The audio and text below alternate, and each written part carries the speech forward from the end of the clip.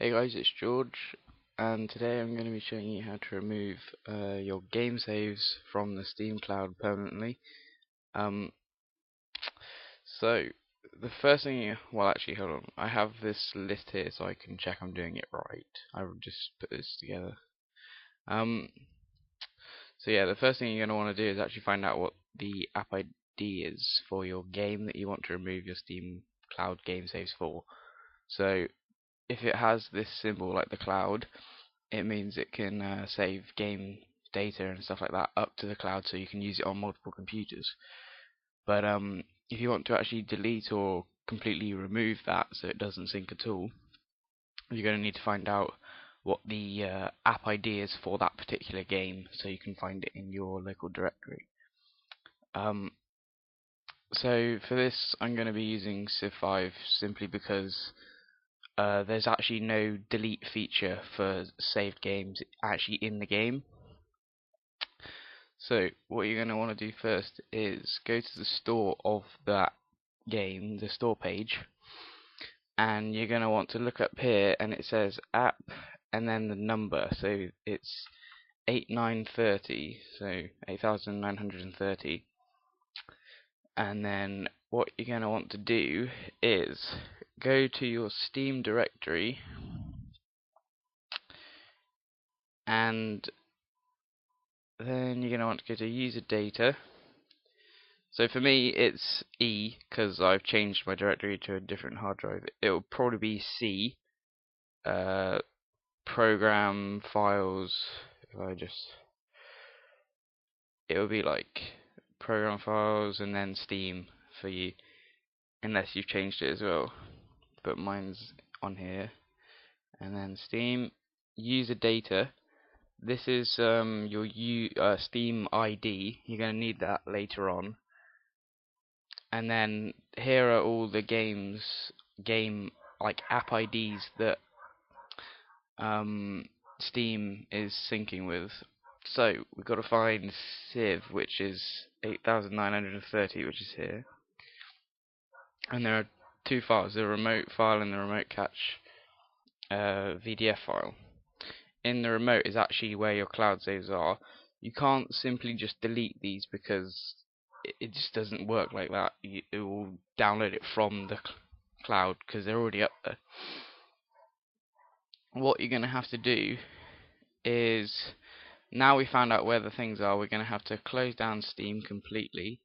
So hit exit and this will exit finishing cloud sync that's annoying.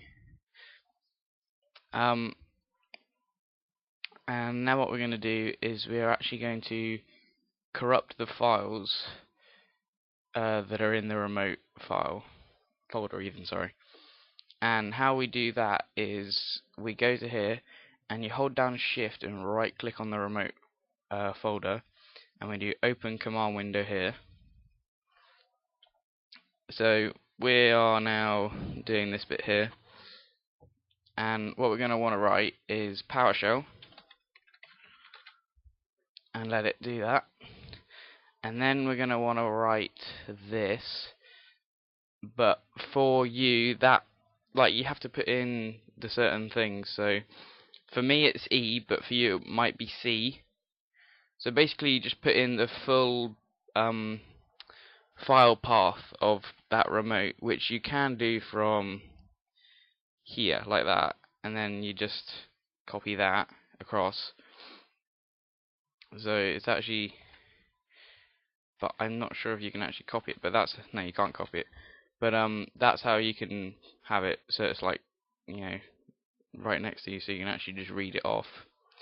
So what you want to type is CLC, and then your uh, hard drive directory and then your uh, Steam then your user um, user data which is the folder it's all in and then another backslash and then then you're going to want to put in your Steam ID which is this the folder that all the games are in.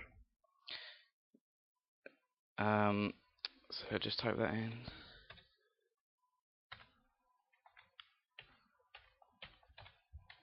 and then the next thing you're going to want to do is the app ID. So um, Civ is 8930. And then you're going to want to do another backslash for the remote folder, and then backslash um, asterisk or star, and that's basically telling the computer to basically clear all of the files that are in here. You see how these have 500 kilobytes in size and stuff. When we press enter on this, it will um like corrupt them and basically put them to zero kbs files. It would just there'd be nothing in the file, so therefore it's corrupt. And this is exactly what we're trying to do because later on we're going to need a certain dialogue to show within Steam that you can't get unless something like this happens. So we're basically forcing um, the dialogue to show that would usually happen if something was broken or corrupt file, and we're basically just corrupting it. So before you press enter, you might want to um, check that you've typed it in correctly. So yeah, that's gonna do it. So now you see how these have changed to 0 KB. Those game saves are now corrupt. So we can exit this now. And now what we're going to want to do is go back and delete this file. That's just a cache for it. We don't need to have that. So now we've basically done the complicated bit as such.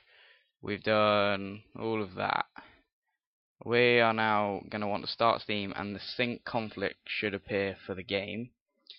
So with the amazing Steam loading speeds this uh, it should now show sync conflict um, where it would normally show um, ready to play or install game something like that